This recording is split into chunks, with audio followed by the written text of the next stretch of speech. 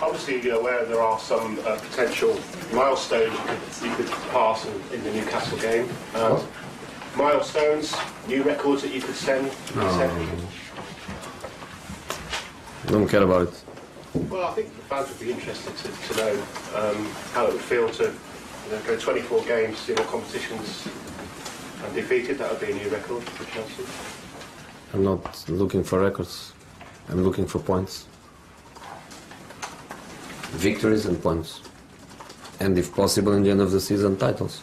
I'm not looking for records. But the way to those things and the result of those things is, is record, isn't it? It's a consequence of that, but as I was saying, I'm not worried with. I'm not worried with that.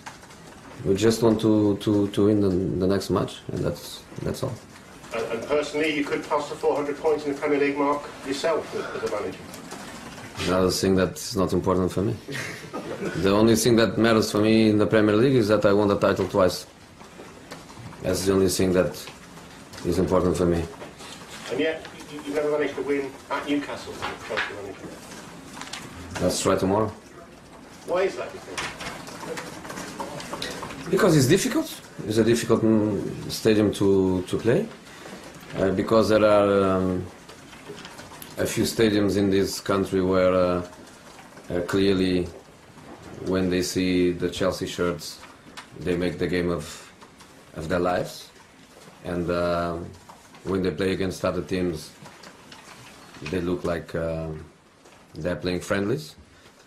But maybe this is because uh, Chelsea in the last uh, in the last decade become a strong team that everybody wants to to beat. Obviously, Matic is not, is not available to you. No problem. No problem. He's been ever present for you, though, hasn't he? Yes. Diego was, was also important for us, and he didn't play, and uh, we didn't want to speak about him. So this time, he's a big player for us that is not playing, but uh, we trust other people, and uh, we forget Matic. He has a little bit of a of a holiday, a free weekend, which he deserves very, very much. So he will be back stronger, and other people plays, and we trust the other people, and no problem. What's changed? He got one yellow in the first eight Premier League games this, this season, and then four in the last six. Who? Matic. Matic? No. The last one was because uh, a fellow player lost the ball and he had to make a, a defensive uh, a defensive transition and he touched uh, the opponent. Sometimes the referees they give a, yet, a yellow card when somebody stops a, a counter-attack. Sometimes they don't. Um, in this game, Mike Dean decided to give him the the yellow card, which is uh, acceptable. I just hope that in every game when opponents they make uh, faults in our players and when we, we start developing uh, the counter-attacks, I hope every referee has the same the same kind of analyze, which is the correct. You stop a counter-attack, you get a yellow card. So Mike Dean was correct. And who, who will start up front? Diego. Obviously, Didier and, and Loic both scored in the last game, and, and Loic has the, the Newcastle connection. That doesn't come into play at all. What about Didier Drogba? Obviously, you've spoken about him and maybe even staying a, a bit longer with the club as a player. I, I- also understand he's, he's showing some capability as a, as a coach. I, I don't know his qualities as a coach because I never saw him coach. So for me, that's that's a new a new story. My story, my personal story, is that um, he's still a very good player, and if uh, he wants my advice in the future, I think he should stop when he wants, when he feels not be waiting for me to decide, not be waiting for the club to decide. Him. We love him. We want him. He is a great football player. He should stop when he wants. After that, I know that Mr. Abramovich is very happy to keep him in in the club in in every area where we feel and he feels that is uh, useful and happy. But that's after he makes the decision of stop his career, which I don't think is tomorrow. And you see a coach in him, in his attitude, in, No, I don't see. I never saw him coach. in the way he is. I don't know. I have no idea. Um, and just, just, just finally from me, um, Petr Cech's agent is reportedly saying that he's definitely not going to be leaving in January. Is that, Good. is that good news? Good. Good news. Very good news. Jose, the, the way the league's shaping up, is it fair to say it's, it's going to be a two-horse race between you and Manchester City? No, I don't say that.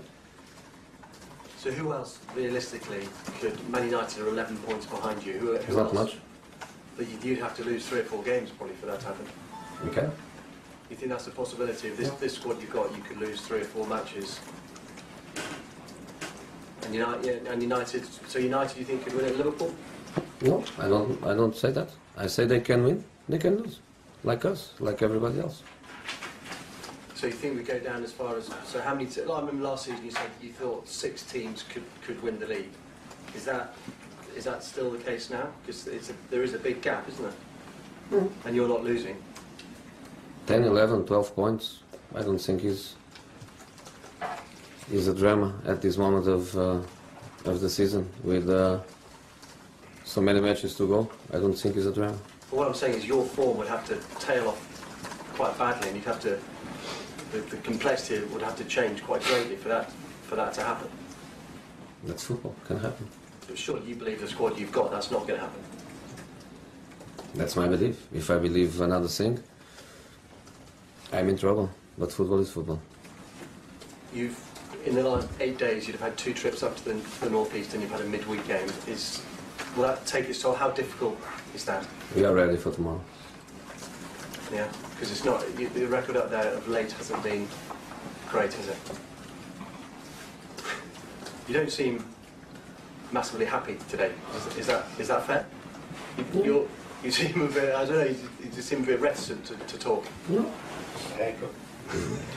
If I don't like the questions, if I feel the questions are not appropriate, I don't participate so much in the in the dialogue. So I try I try to answer in a quick in a quick way to kill your mood. I mean, how, how, how much you enjoying this season? I mean, you, of, of, of all the success you've had in your career, you, this this must be a great a great period for you, isn't it? and you said the, the, the 24 games unbeaten doesn't bother you. Um, what about what about your players? It, it must be something for them to, to create a club record for the players. It must, it must even if not for you, but for the players. They don't know the record. They're, they're not aware of it. No, they don't. I, I don't think they know. They must know. I, I, I, I wouldn't know if you don't tell me 20 times. I don't care about records. Which record? Which record? The record I want is uh, win the Premier League three times in this club. That's the record I want. Okay, can I just ask you one more about, about Newcastle? And obviously, when you go up there, there'll be lots of pictures of Sir Bobby Robson everywhere in the tunnel, wherever you go. How big an influence was he on your on your career and the, the beginning of your career? I told that 200 times. I know, but you're, you're playing. And I don't need to go to Newcastle and to see his pictures in the tunnel uh, to remember and to miss such a friend. You know? So I don't need to go to, to Newcastle to think about Mr. Robson. Thank you. We'll try again next week. Who else would like a go?